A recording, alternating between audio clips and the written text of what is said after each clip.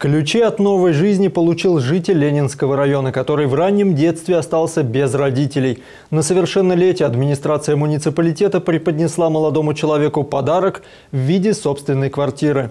В рамках федерального законодательства в этом году в Ленинском районе квартирами обзавелись 10 детей-сирот. В их числе и Павел Черцов – с шести лет он живет с опекуном, увлекается спортом, учится в высшей школе экономики. Все свободное время планирует тратить на благоустройство своего нового жилья. Он очень рад возможности жить самостоятельно. Хорошая квартира, новая. Рад, но как-то страшновато. Почему?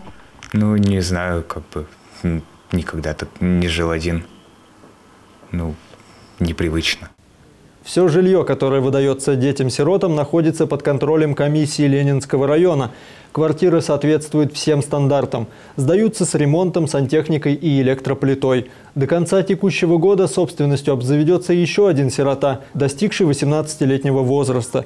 В первом квартале будущего года запланировано выдать ключи троим видновчанам данной категории эти э, ребята, которые оставились без попечительства своих родителей и, э, достигая 18-летнего возраста, им вручается от государства такой подарок. Все-таки они являются немножко ущемленными в своей жизни. Это материнское тепло, это отцовство.